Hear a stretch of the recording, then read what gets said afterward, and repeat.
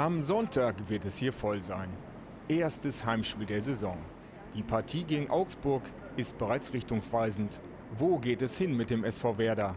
Ein ehemaliger Bremer macht Mut.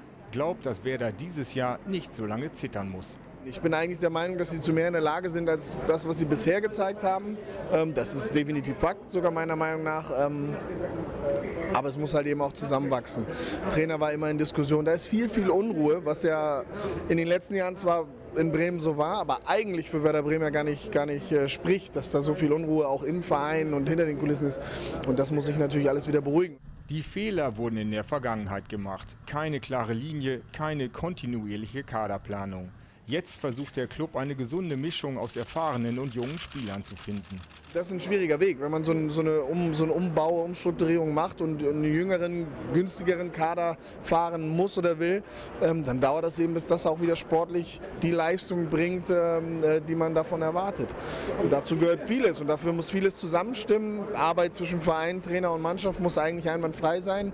Und ähm, zuletzt hat es da ja auch viel Unruhe und, und Kränkeln gegeben. Da musste der Manager gehen, jetzt ist der Trainer nach nach wie vor im Gespräch. Das alles muss zur Ruhe kommen. Mit Frank Baumann hat Uwe Mojela selbst noch bei Werder gespielt.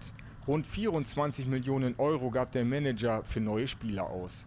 Besonders den Gnabry-Transfer hält Uwe Mojela für einen Coup.